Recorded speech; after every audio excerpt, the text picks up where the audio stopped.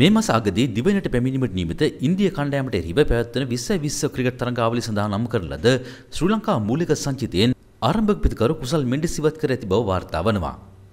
මේ බව අද ලංකාදීප පුවත්පතද වාර්තා කර තිබුණා.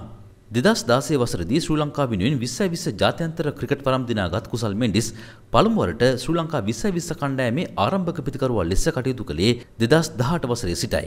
එතැන් පටන් පසුගේ විස්සයි විස්ස ලෝක කුසලන ක්‍රිකට් තරඟාවලිය දක්වා තරඟ 46කදී ශ්‍රී ලංකා ඉනිම ආරම්භ කළ ඔහු අර්ධශතක 14ක් සමග ලකුණු 1395ක් රැස් කළේ 31.7 බිඳුවක සාමාන්‍යයක් රඳවා ගනිමින්. කෙසේ වුවත් මේ වසරේදී පැවති 20 20 ක්‍රිකට් ලෝක කුසලානයේදී සහ ලංකා ප්‍රීමියර් ලීග් තරඟාවලියේදී ආරම්භක පිටකරුවෙකු ලෙස කුසල් මෙන්ඩිස් අසාර්ථක වුණා. එබැවින් ඔහු ඉන්දියාවට එරෙහිව පැවැත්වෙන 20 20 තරඟාවලියේදී විවේක ගැන්වීමට තේරීම් කමිටුව තීරණය කර ඇති බවයි වාර්තා වන්නේ. නමුත් ඊට ඇතම් ජ්‍යෙෂ්ඨ ක්‍රීඩකින් කැමති නැති බවත් මේ වන විට වාර්තා වනවා. මේ අනුව ඔවුන්ගේ ඉල්ලීම වී තිබෙන්නේ මෙම තරඟාවලියටත් කුසල් මෙන්ඩිස් එක් කරගන්නා ලෙසයි. ජනවාරි මාසයේ සිට නිමාවට පත් වූ ලෝකුසාන තරඟාවලිය දක්වා 20 20 ජාත්‍යන්තර තරඟ 12කට ක්‍රීඩා කළ ඔහු එහිදී අර්ධ ශතක දෙකක් සමග ලබාගෙන ඇත්තේ ලකුණු 359ක් පමණයි.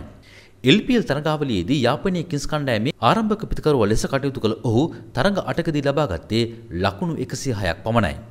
මෙන්ඩිස්ට අමතරව ජේෂ්ඨ ක්‍රීඩකින් වන ඇන්ජලෝ මැතිව්ස්ට ධනංජය ද සිල්වාට සහ මැද පෙළපිතිකරු සදීර සමරවික්‍රමට ඉන්දිය තරඟාවලිය අහිමි වන බවයි වාර්තා වන්නේ. ඔවුන් වෙනුවට එල්පිල් තරඟාවලියේදී දක්ෂතා අතරට පැමිණි දිනේෂ් චන්දිමාල් කුසල් පෙරේරා අවිශ්ක ප්‍රනාන්දු සහ චාමි කරුණරත්න යලි කණ්ඩායමට කැඳවීමට නියමිත බවද වාර්තා වනවා. මෙවර එල්පිල් තරඟාවලියේදී මහනුවර ෆෝල්කන්ස් කණ්ඩායමේ ආරම්භක පිතිකරුවා ලෙස කටයුතු කළ දිනේෂ් චන්දිමල් තරඟ 8ක් තුල අර්ධ ශතක දෙකක් සමග ලකුණු 270ක් රැස් කිරීමට සමත් වුණේ 33.75ක සාමාන්‍යයක් රඳවා ගනිමින් තරඟාවලියේ වැඩිම හය පාර සංඛ්‍යාව වන හය පාර 17ක් එල කරන්නටද චන්දිමල් සමත් වුණා. ඔහුගේ ලකුණු ලබා ගැනීමේ ප්‍රහාරාත්මක දලවේගයේ ලෙස සටහන් වී ඇත්තේ ලකුණු 173.07ක් ලෙසයි. මෙවර එල්පිල් තරඟාවලියේ ශතකලාභීන් සිව්දෙනාගෙන් කෙනෙක් වන කුසල් පෙරේරා තරඟ හතකදී ලකුණු 48.16ක සාමාන්‍යයක් රඳවාගෙන තිබෙනවා. එහිදී ඔහුගේ ප්‍රහාරාත්මක වේගය 174.09ක්.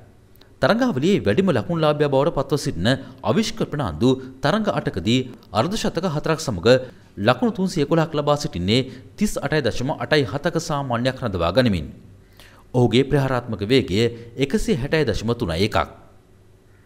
මේ අතර වනදු හසරංග නායකත්වයෙන් ඉල්ලා සිටීමත් සමග හිසු ශ්‍රී ලංකා 20 20 කණ්ඩායමේ නායකත්වයට තුන්ගිරිය ක්‍රීඩක චරිත් අසලංක නම් කිරීමට ශ්‍රී ලංකා ක්‍රිකට් තේරීම් කමිටුව තීරණය කර තිබෙනවා.